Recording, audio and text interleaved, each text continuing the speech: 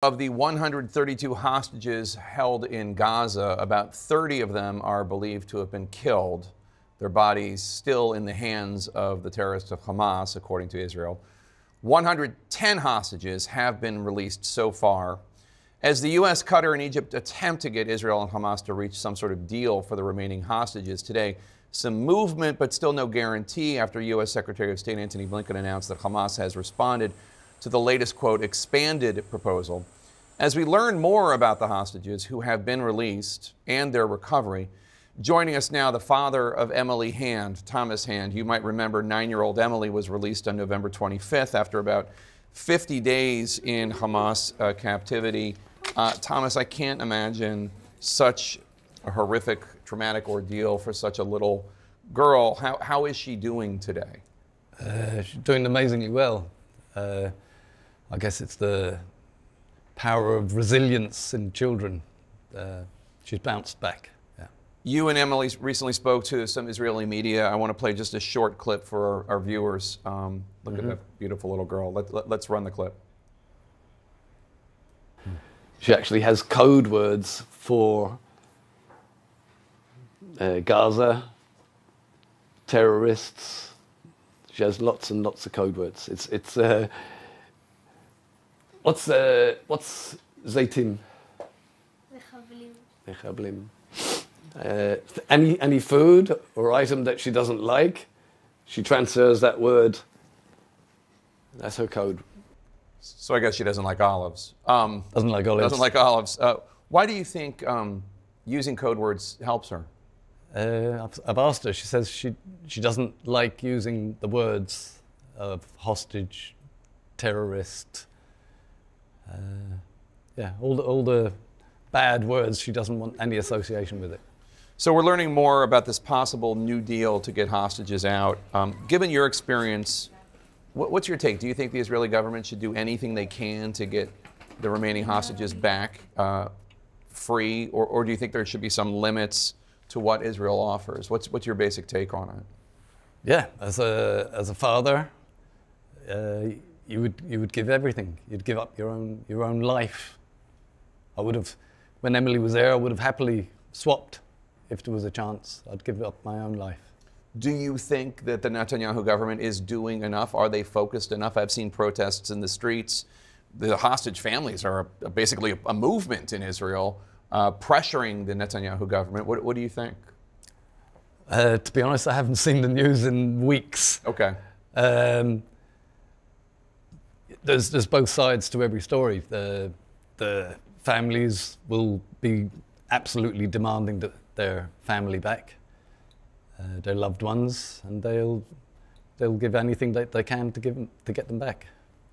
Did Emily talk about uh, other hostages that she saw while she was being kept in captivity? Um, I know she was with uh, Itai, Svirsky, Svirsky. She was with uh, Raya, of course, uh, Hila. Uh, she doesn't really talk about them now. She just tells me that she was with them. Um, was she treated okay when she was over there? I mean, other aside from the horrific act of kidnapping and the murder of her mom and all that, like, which you know is a is a lot. Yeah. Um, but how were they to her according to what she tells you? Uh, compared to other groups, she was in reasonable hands. Right. We've heard of sexual assault against some of the yeah. older girls. Yeah. There was there was no beatings. There was no uh, molesting. Uh, just lack of food, lack of clean water.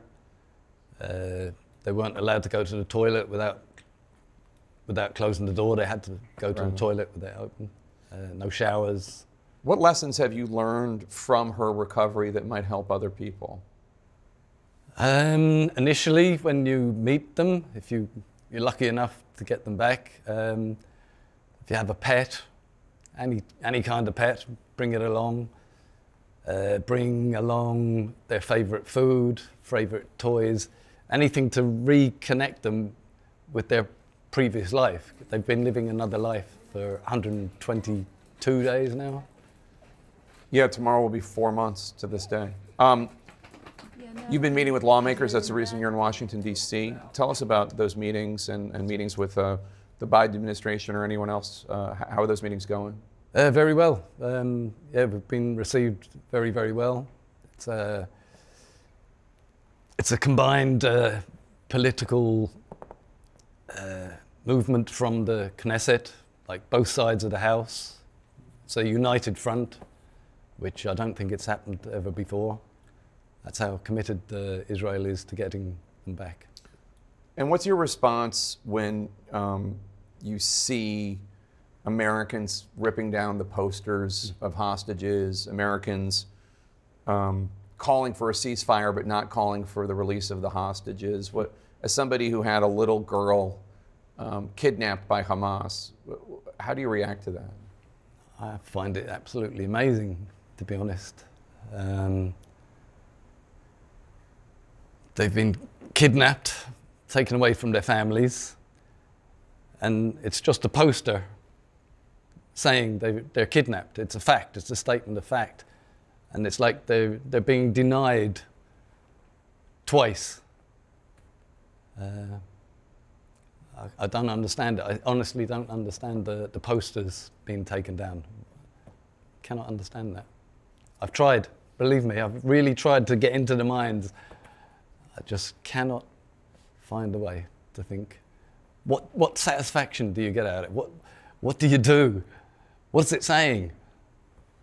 I I don't mean, I could tell you what they say, but I, I, I'm not going to. I'm not going to argue on their behalf because I think it's absolutely inhumane. I'm so glad that your daughter is back with you. I'm so sorry that she went through what she went through, um, uh, and I wish you guys nothing but the best and, and continued healing. Thank you for joining us today. Thank you for having me. I'm sorry I wasn't more uh, eloquent, but you uh, were perfectly eloquent. not really. Perfectly eloquent.